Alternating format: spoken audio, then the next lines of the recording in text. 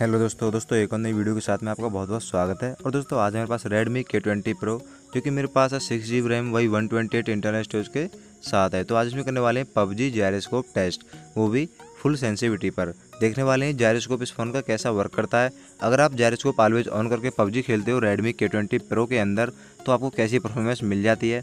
कैसा आप gyroscope use कर सकते हो? इसमें रिकॉल कंट्रोल करने में आपको कितनी मदद मिल जाती है? तो अगर आपको बताना चाहूँ कि अगर आप इसमें गेमिंग करना चाहते हो तो रेडमी के ट्वेंटी प्रो में आप काफ़ी अच्छे से गेमिंग कर सकते हो।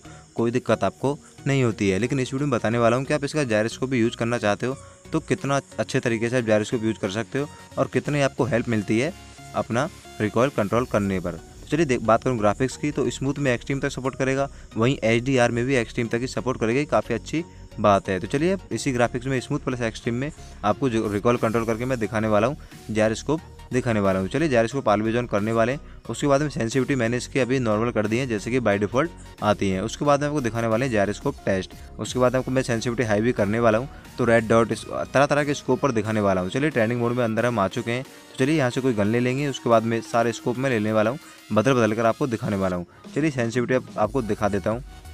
मैंने मीडियम कर रखी है। उसके बाद में हाई भी करने वाले हैं तो आगे आप वीडियो को देखते रहिए। पसंद आए तो वीडियो को लाइक ज़रूर करना। और दोस्तों, अगर आप हमारे चैनल पर पहली बार आए हैं तो हमारे चैनल को सब्सक्राइब करके बेल आइकन को ऑल पे सिलेक्ट ज़रूर कर लीजिएगा, क्योंकि मैं आपके लिए इसी तरह की वीडियो लेकर आता रहता हूँ। दोस्तों दोस्तों, आपके पास कौन सा फ़ोन है और उस फ़ोन में कैसा पबजी चलता है, ये भी हमें एक बार कमेंट करके ज़रूर बताएँ। तो चलिए दोस्तों, वीडियो को आगे देखते रहिए। बात करते हैं इस फ़ोन की बैटरी की तो इस फ़ोन में आपको चार हज़ार एम की बैटरी मिल जाती है। अगर बात करूँ प्रोसेसर क्वेलकॉम स्नैपड्रैगन 855 जो कि काफ़ी अच्छा प्रोसेसर है। इस फ़ोन में आप काफ़ी अच्छे से गेमिंग कर सकते हो, जिस भी फ़ोन में आपको ये प्रोसेसर मिल जाता है। चलिए, अगर बात करूँ मैं जायरोस्कोप की तो आपको अभी बताना चाहूँ तो gyroscope Redmi K twenty Pro में कोई भी दिक्कत आपको नहीं मिलने वाली है। आप ऑलवेज ऑन करके भी जायरोस्कोप खेल सकते हो।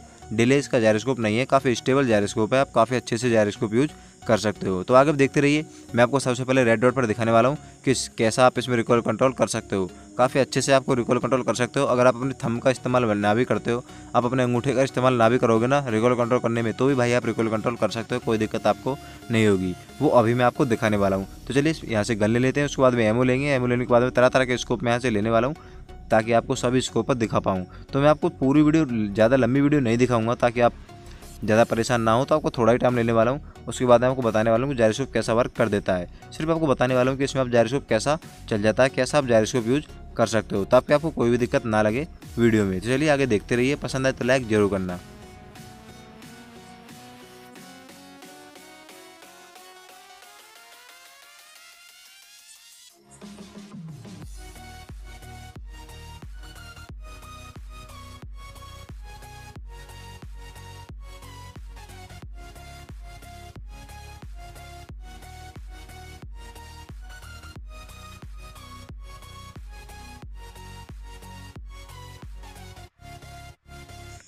तो चलिए दोस्तों, सबसे पहले आपको रेड डॉट पर दिखाने वाला हूँ।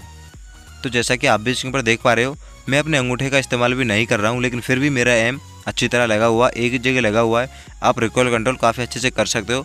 रेडमी के ट्वेंटी प्रो में जी को ऑलवेज ऑन करने के बाद कोई भी दिक्कत आपको नहीं होने वाली है। तो रेड डॉट के बाद मैं आपको आगे और भी स्कोप लगा के दिखाने वाला हूँ। तो आप देखते रहिएगा वीडियो को एंड तक। पसंद आए तो वीडियो को लाइक ज़रूर करके जाना।